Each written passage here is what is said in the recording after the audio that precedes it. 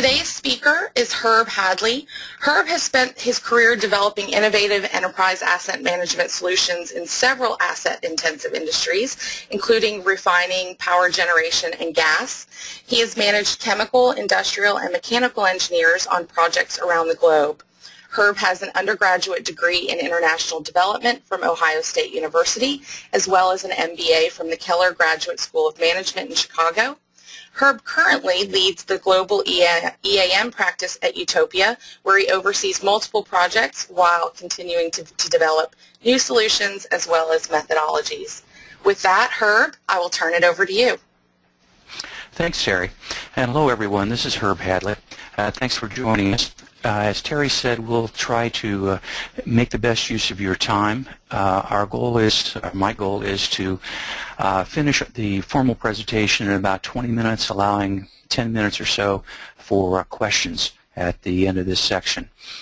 Uh, the, the title of today's presentation, Migrating Ellipse to SAP, is a general discussion. We'll be talking somewhat more about mining than other industries uh, because there are so many people around the world, uh, including many people on this call, that are in the mining industry. But Mincom uh, Ellipse is in use by military installations, by power generation companies, uh, companies of all kinds. And many of the comments I'll be making about mining are completely valid and applicable to other industries as well. A, a quick overview of, of why we're having this discussion. Uh, Mincom is one of the oldest, uh, what used to be called CMMS systems. That's Computer Maintenance Management Software Systems. Um, been around a long time and has gone through uh, several changes in ownership in the last couple of years. And my experience over several decades is that when companies are uh, you know, in, in a matter of flux. That is, they change ownership, they change their platform, their development, other issues. Uh, many customers of those of those companies then take a look and say, should we make a change? Should we change to something different, uh, upgrade from the current software, or to do uh, something like moving to SAP?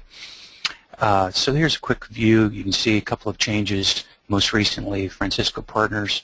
Here's a press release from last year, February, uh, showing ABB is purchasing uh, uh, Mincom. Um, again, setting the stage for why people might want to change. Uh, again, a continuity of software ownership is one of the key reasons people review uh, their their software system.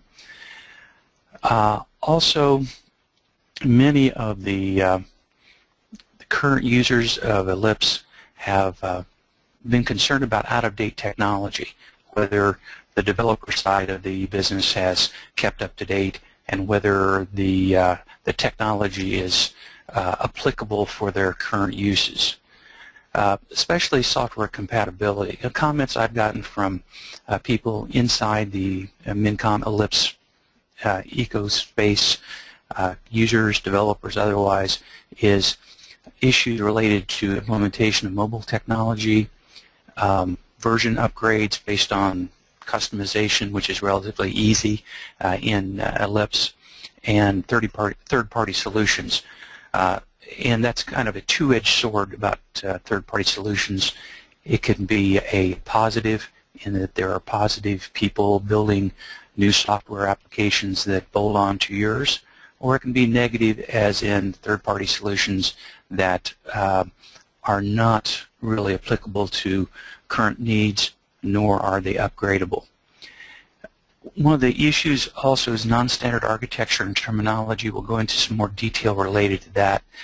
And also there are some issues related to has uh, Ellipse kept up to date uh, in financial reporting methodologies and requirements worldwide and uh, also in the regulatory compliance field.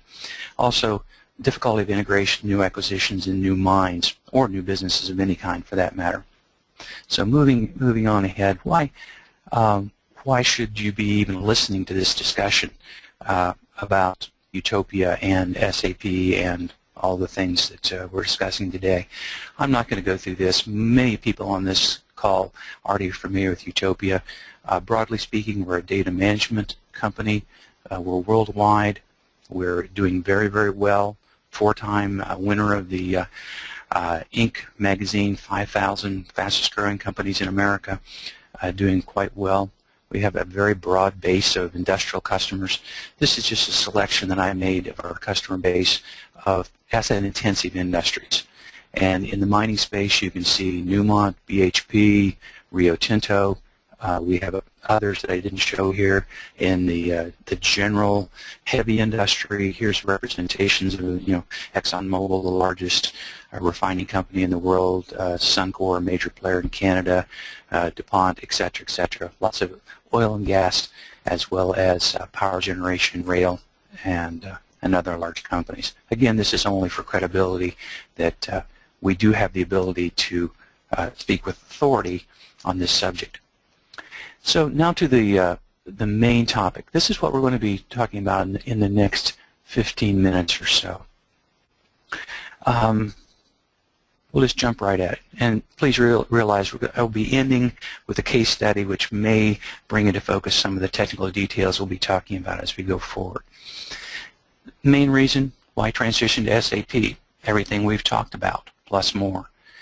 It allows you to uh, come up to the modern standard of uh, how uh, ERP systems are should be run SAP uh, has, a, a great uh, platform, great functionality.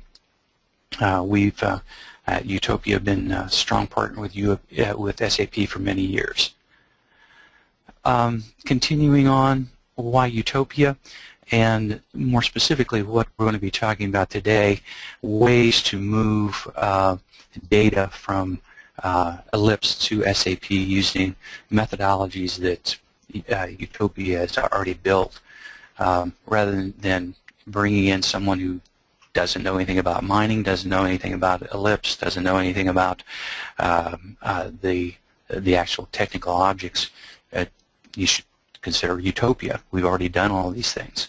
And we've developed a rapid deployment solution that I'll talk about in a moment that in essence offers you know, customers to use our methodologies faster at a lower cost than, than others.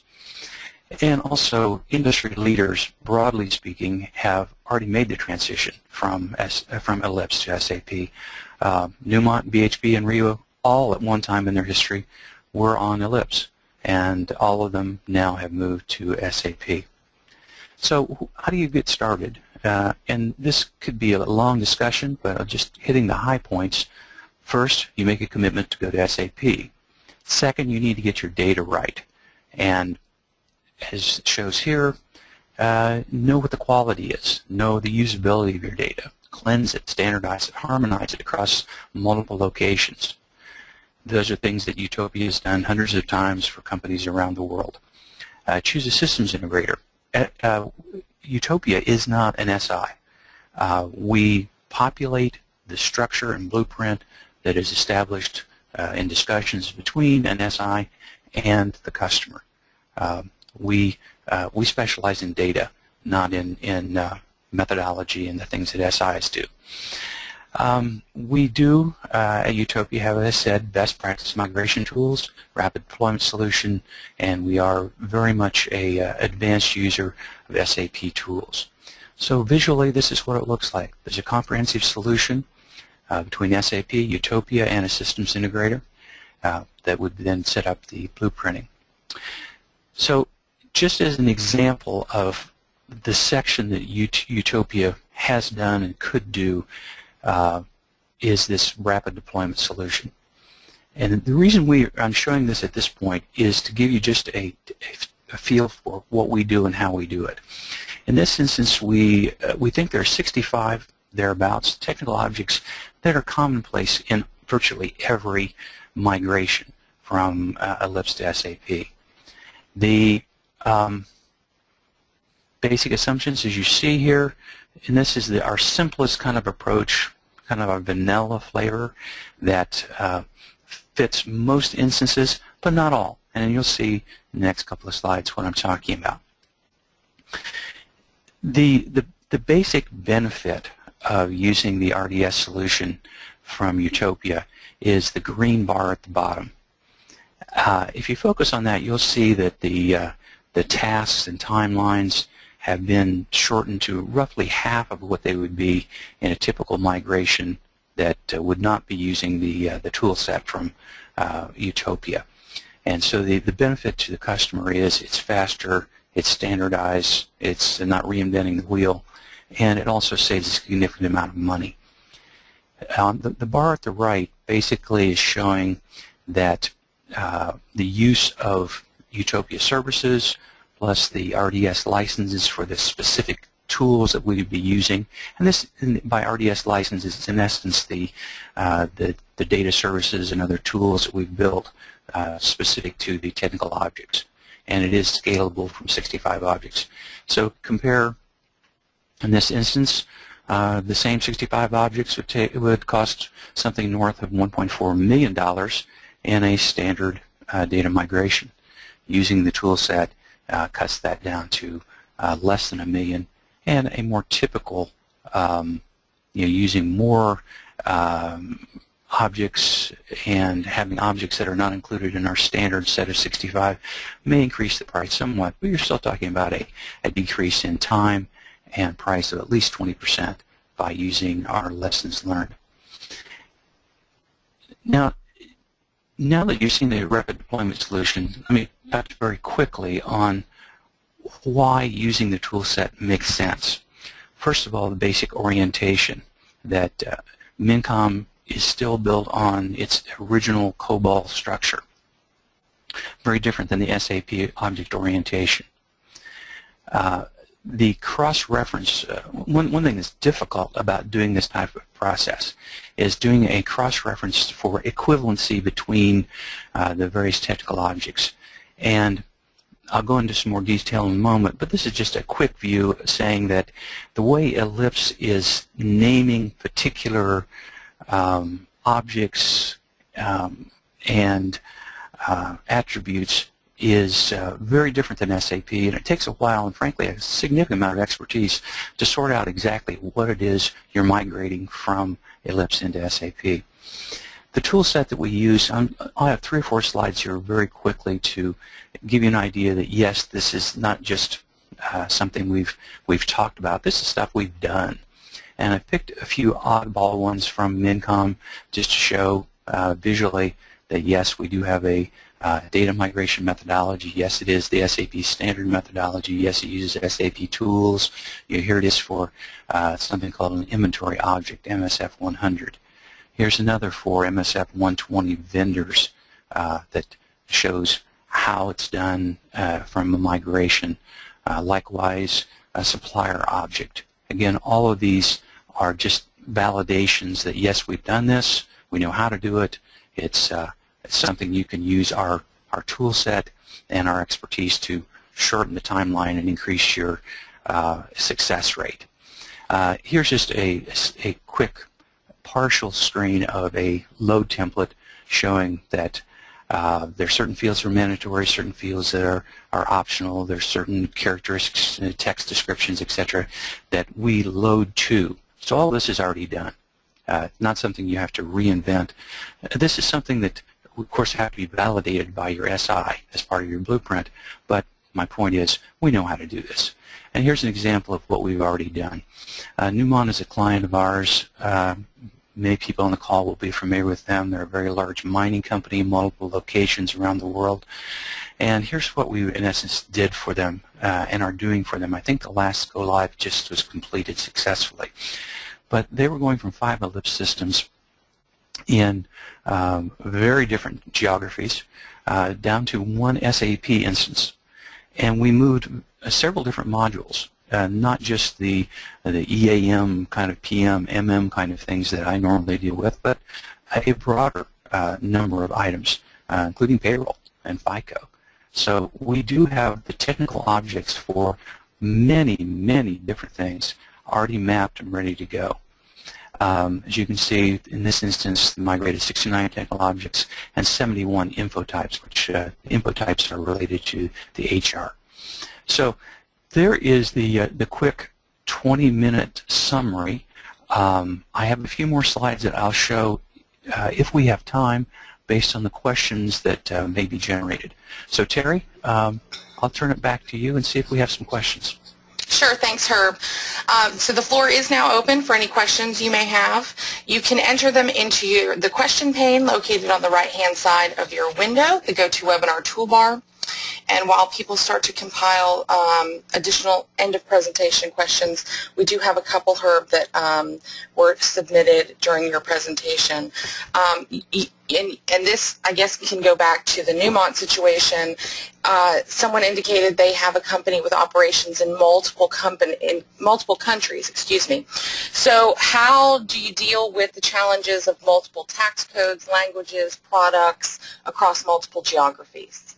Oh, that's that's a that's a great question. Um, well, first, we, have already proven we can do it, but the, the challenges really are related to the specific um, the specific items by tax code. So in the case of Newmont, for example, each of the various countries have their own particular way in which the taxes are collected and, and how that actually fits into the um, uh, the various modules in SAP. And um, we have already built several of these, but the, the point I think is important is that Utopia has the ability to deal with any geography, any language, any uh, any type of technical object. Uh, it's simply a matter that we, as I said, a rapid deployment solution. We defined it specifically as you know 69 items, but within that 69 were I think two, maybe three tax um, items or objects uh, we would be able to substitute for other countries, other tax jurisdictions, anything like that. So uh, whomever asked that question, feel reassured. It's not a big deal dealing with uh, many different countries, many different tax areas, and frankly, even different languages if necessary. Okay, so we have another question. Um, this one goes back to the data issue. Is there a best time to perform data cleansing and standardization? Our systems integrator doesn't have that as part of our plan. Ah, well, that, unfortunately, that's quite true. That uh, is typical. Uh, oftentimes, system integrators and and the customers uh, don't really think much about the data. They're thinking about the process of, of moving the data. And the best practice to answer this person's question, best practice is to deal with data issues before you try to migrate your data. Uh, and data issues can be broadly stated as you, you have multiple source systems. Uh, that could be an ellipse, it could be access databases, it could be uh, Excel spreadsheets, anything. You need to determine which of those uh, data sources should be consolidated, standardized, cleansed, deduped, and migrated. But there may be instances where uh, there's data that should not be migrated or go through any of these processes, but simply be um, abandoned or archived. And there are two or three different ways we can archive, and that's a topic for another discussion. But um, it's oftentimes useful to have uh, old data available in some way, either as a native format or as a, uh, link within SAP or many other things we could do. But the key point is deal with your data first, not last. And as a bit of um, kind of statistics associated with this, the um, uh, SAP Users Group did a study a few years ago about uh, problems related to data migration and when those problems occur. And the data migration, the data quality issues generally occur in the last 20% of the timeline. In other words, they oftentimes come up when you do your first data load and say, oh, that data didn't load. Well, why didn't it load?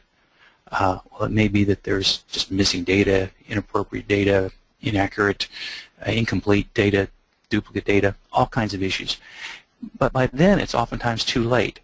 So the second part of the SAP Users Group study was um, it happens late, but then another part of it is what are the, the serious ramifications to the success of the project.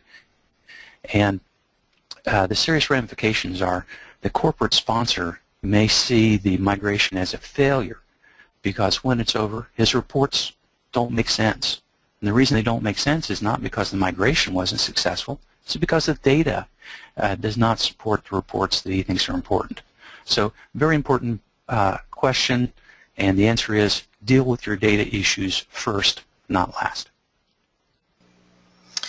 Um, Herb, also um, we've been asked, uh, since you've discussed quite a bit about equipment and assets in terms of um, moving from Ellipse, can you address um, data migration experience we've had with other parts of SAP functionality? I know you mentioned it a little bit with Newmont, but can you expound on that? Uh, yes, I can. Um, let me just scroll just a quick moment to the SAP whiteboard. Um, we, we are able to move any of the technical objects uh, from any source system to SAP. And the, the standard data migration methodology yeah, out of the box kind of from SAP includes about, I think, 45, 50 technical objects. Uh, over the years and literally hundreds of data migrations that have been performed by Utopia, we've built something north of, uh, I think, probably 150, maybe even 200 technical objects that migrate.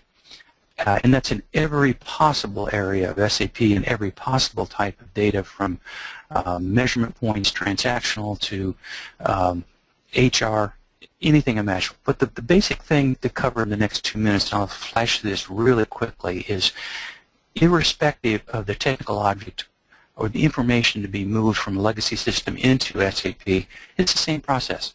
There's the data comes from somewhere. It could be any of the things you see on the left hand of the screen, databases, applications, flat files, anything. And the first thing you do is extract that information, put it in a staging area, and as I said earlier, now's the time to really set up and cleanse, transform, validate, load, and use all the things you're seeing there in terms of name and address parsing, matching, transforms, all the things that, that we know how to do uh, using primarily the SAP Business Objects Data Services platform. Now, this then is uh, is based on, as you see from the right-hand side, we do an extract of the SAP configuration so that when we're doing all of these processes, we're actually basing our processes on how the SI and the customer have set up their SAP for the functionality that they're uh, wanting to implement uh, at their business. So without going into too much detail, we, we do lots of different analytics, we do reconciliations, we do analysis, we do tests, we involve management. Um, there's lots of things going on, and our approach is to be completely transparent, communicate regularly, provide appropriate governance to the process, and make sure that the customer actually receives the full benefit of the, of the data that's available to him. And a, a, validation of our methodology is that we were, Utopia was uh, Data Services Partner of the Year for SAP in North America in 2010, and we quite literally are the go-to company for all things related to data. Now, the, the, the next step I'll show very quickly is what happens after go live, how do we keep the data clean, how do we keep it um, usable for a customer after the go live. And we have a whole set of, of ways that we do uh, do that, real-time data governance, uh, standardization of, methodologies. Um, our, we have an entire area of our, our business uh, called uh, uh, enterprise data lifecycle management. So we can spend a lot of time on that as well. So uh, perhaps that answers that question.